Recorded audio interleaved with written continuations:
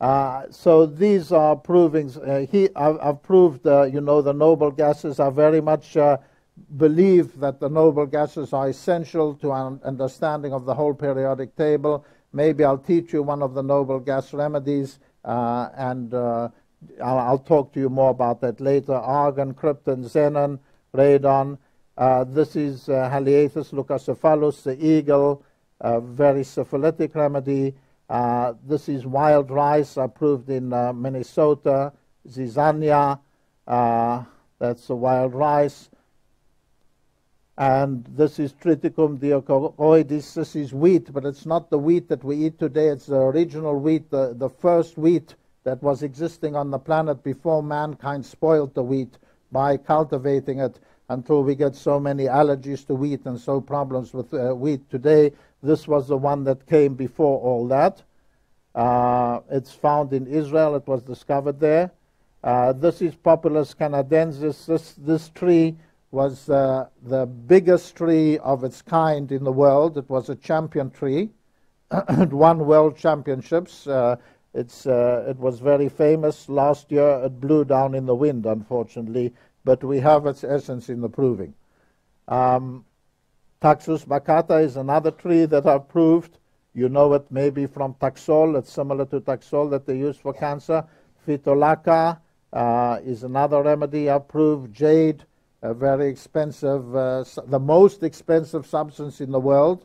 You know, they say you can measure the worth of diamonds and you can measure the worth of gold, but you can't measure the worth of jade. It's more, it's so expensive that it's worth, you can't even start to think how much it's worth and how much it's valuable. Um, that's jade.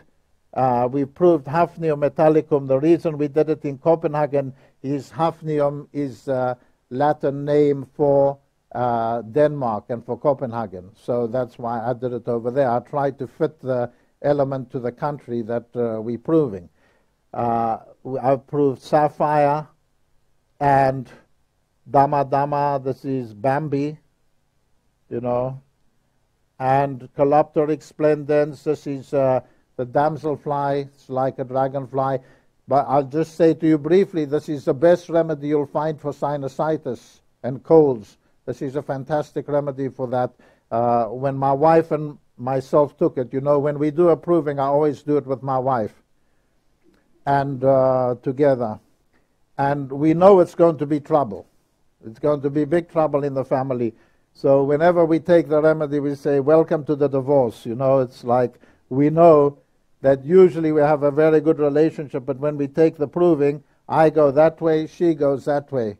And it's like we look at each other and we say, what, Who are you and what are you doing in my house? And then we start fighting. Uh, it's always like that. But from the nature of our fighting, for two months fighting, we can tell the nature of the proving uh, because you get both sides of the remedy and the two opposites that, that clash. But when we took the Calopteryx splendens, within 30 seconds we were both full with our sinuses and our eyes and our head and a, a cold. I've never seen a remedy work so quickly. We both had this terrible cold. And, uh, you know, that's how you find out you never forget what a remedy can do. So uh, you, this is one of the things about uh, Calopteryx. Uh, other than our big argument, I'll tell you that I became like an old man all the time fussing about everything that has to be done and duty and responsibility and what we have to do and the list of things. And she became like a young 18 year old girl whose only interest was to have highlights in her hair and drink cappuccino. And uh, every day I would give her these long lists of, um, of things that she has to do, and she would say, okay, no problem, and then she would go to the, to the hairdresser and drink cappuccino. And that's why we argued all the time. So those are the, partly the two sides of the remedy. Calopteryx. Brassica, um, napus, this is a very um, useful remedy. Androctonus was my first proving. Uh, that's how I got into it. It was really by mistake. I was uh, living in Israel before I studied homeopathy, and many times I saw people getting stung by, by scorpions like this. And I thought, when I came to look in the Materia Medica, and I saw there's no scorpion, I thought, how can there be no scorpion? And that's why I did the first proving. And I, I went out in the field to pick up stones and look for a scorpion. Um, you know, and I'd read somewhere that uh, the way to get the poison out of the scorpion's tail is to connect it to 12 volt. You give 12 volt and it squirts out the poison. So I took my old Jeep, I connect two wires to the battery, zoom, zoom, I'm revving it up. We connect the battery to the scorpion, we put the tail of the scorpion in a test tube. I give gas, they're shouting to me, more gas, more gas. I'm giving more gas, more gas, and no poison came out. But afterwards, I find out that the, the scorpion produces so little poison that you don't even see it. You see, a poison of a scorpion is six times more intense than a poison of a cobra, for instance. So you don't need a lot, and you probably wouldn't even see it. And that's why for uh, poison of scorpion, you, you can pay just for a drop $5,000, you know. Today they're using it in Mexico, for instance, for cancer, for brain cancer. It's become a popular uh, allopathic medicine that, that they're actually experimenting with. Uh, but um, this is actually a, quite a poisonous scorpion that we use. I got it from the Institute of Scorpions in Israel. That was my first proving. I didn't know anything about provings and how to do provings. Uh, so I just went and I gave it to friends in my class and I told them to give me a note of what is happening, and that's how it happened. Of course, I learned many things from my mistakes, I hope, of how to do it. Chocolate I did with you in, in uh, Mumbai many years ago. Um, Adamas, the diamond, it's a very common remedy we use a lot. Olive, this is uh, olive from Israel, and um, you know, very important remedy. We use it in Africa a lot especially in cases of malnutrition in children. This is a very good remedy because olives are the essence of, uh, of nutrition, really. Um, this is the olive tree, one of the trees that we took the remedy from. They grow very old. This could be over a thousand years old, this olive tree. Um, Dama Dama already mentioned. And uh, this is gallium and germanium. I might talk about them a little bit. Uh, these are extremely useful remedies that we use. There's not a week goes by in my clinic where I don't use these remedies. They are very important, both in the fourth row, element 31 and 32. Hydrogen, the first remedy of all. Cygnus, Cygnus, uh, the swan. This is an amazing remedy. I don't know if you've used it at all. Has anybody used it here? It's, a, it's uh, the first remedy in severe grief. I, I call it, uh, you know, when I talk about uh, Cygnus Cygnus, I don't know if I have a pen here. Ah, yeah. I, I call it um, Nat Mur squared plus Ignatia in the third equals Cygnus. Like that. Yeah.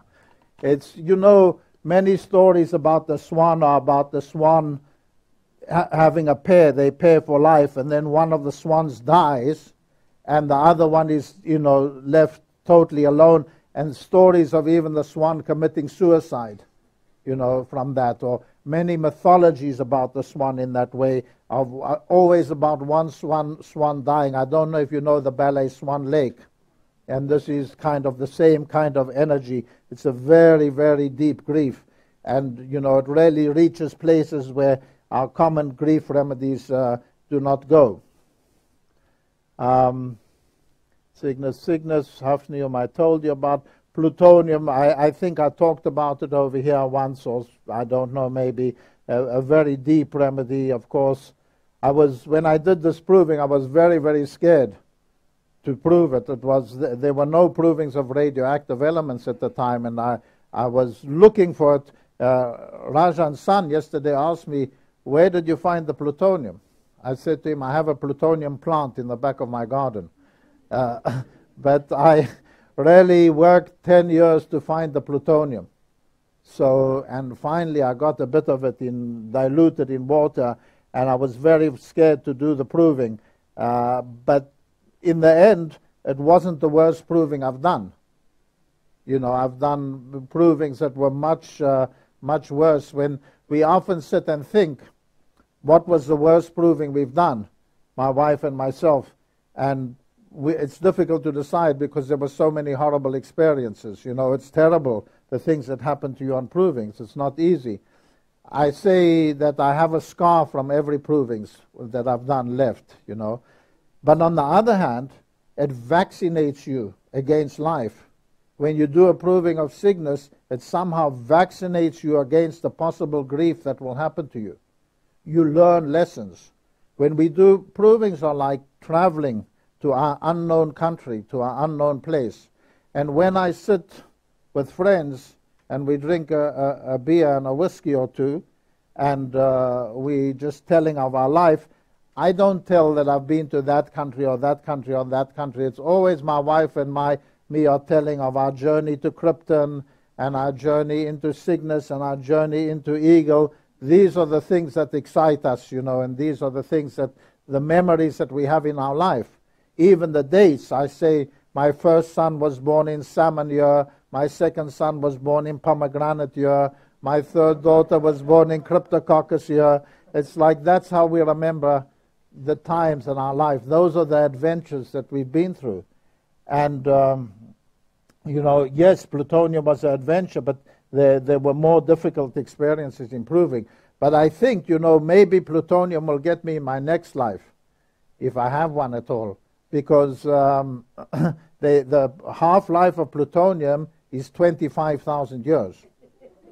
So who knows what will happen to me, you know, in, uh, in 25,000 years to my soul. Maybe then the proving will come out. But this is a good point because one of the main things about plutonium is that we often say sins of the fathers visited upon the sons. So sometimes you have a case when somebody will come to you and say, you know, my grandmother was uh, uh, had a terrible life. Maybe she was robbed. Maybe she was abused, and I feel it. It's in me. It's passed down the generations into me. That is something about plutonium that affects the genetic level, the genes, the, gene, the DNA. That is what radioactive remedies get to. They get to right to our DNA. Um, and yeah, that's what I say, you know, uh, plutonium nitricum, Neanderthal man and Ikea man. I don't know if you have Ikea here in Mumbai. You don't? Uh, it's coming soon, I'm telling you, because they'll take over the world. Um, but that's the kind of difference between what we were and what we have become. Uh, Polaris is the North Star. Uh, I prove it after I once went to a seminar And there was a very famous homeopath there, and he said, I do not believe that all these remedies, we call them imponderables in homeopathy. You can't even think about it. He said, I don't believe these work. And I said, I don't know. Maybe he's right, maybe he's not right. How can I tell? You know, it's like I, I don't, uh, you know, I can believe that they work, but belief is nothing. Either I know from experience or I don't know. So the only way to find out is to do a proving.